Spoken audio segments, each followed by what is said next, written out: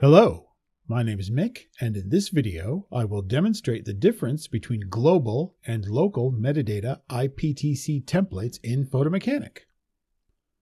For this video, I will assume that you know the basics of how to use the metadata IPTC template, as it has been covered in previous videos. For this, we're just going to cover how local and global templates differ. I'm working with these images and I want to apply a caption I call up the metadata IPTC template. I insert some information and I go ahead and apply it. Now, say I go to some different images and I call up the metadata template again, you'll see that this image, this information is persistent. It's sticky. I don't need to type it again. This is the global metadata template. If I were to go into the copy move dialog and apply some metadata here, again, this information is sticky. This is the global metadata IPTC template. If I needed to clear it and start fresh, I could go down here and click clear, but I'm not going to do that. Now, some dialogues in Photo Mechanic include the op option to use a local metadata template. Let's go into the ingest dialog. So we're going to ingest these images, and over here I have the ability to apply the metadata template, but I can choose between the local and the global. If I use the global template, we'll call it up here, and we'll see, here we go, the sticky information that has come from the global metadata IPTC template.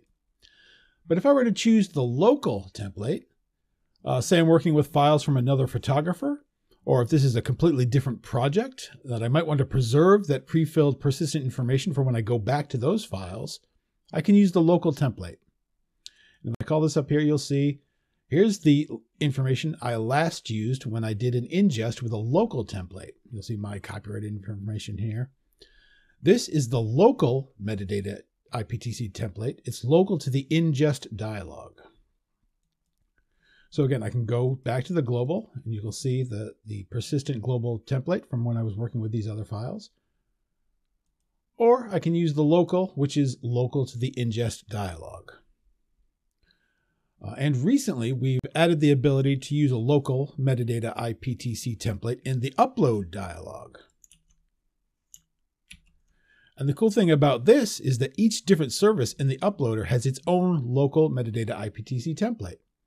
So if I wanted to apply some metadata as I FTP these files, I can again use the global template, which we have here, the persistent information from the first time I had uh, called this up in this session. Or I can use the local template to bypass that and you can see here's a, a caption I use specifically for the FTP uploader in the uploader dialog. If I were to go, say, to use something for Flickr, if I wanted to upload some files to Flickr, again, I have the option to use the local template. And here we have the last time I had used this, um, the metadata IPTC template in the Flickr uploader.